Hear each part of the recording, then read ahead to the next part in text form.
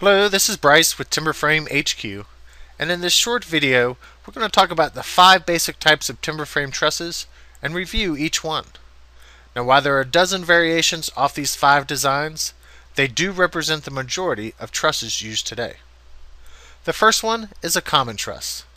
Now, while basic and simple, the strength and affordability of this design is unmatched, and as its name implies, is the most common truss used in timber framing today and in the past.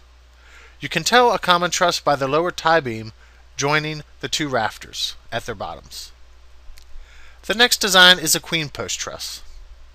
It is similar to the common truss in that it utilizes the bottom tie beam, but it also adds two posts dividing the gabled space. These are known as the queen posts.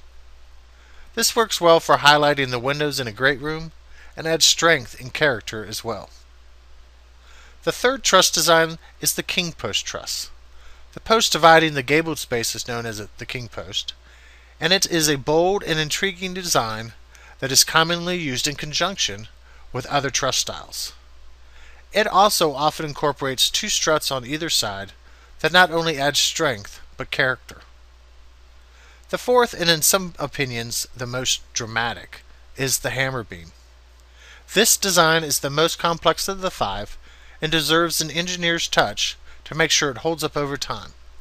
But the results are well worth any effort that you put into it.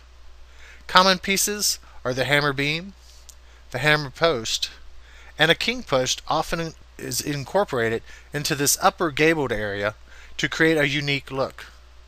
The final truss design is the scissor truss. This has two beams that run from the lower part of the rafter to the opposing rafter, crisscrossing each other to create a unique and loved look.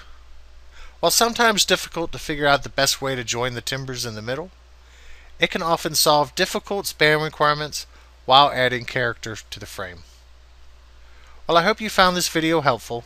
If you have any other questions about timber frames, timber frame trusses, or if you need a timber frame house plan, please visit timberframehq.com for more information and resources. And don't forget to say hi to us at facebook.com backslash timberframehq. Take care and thanks for watching.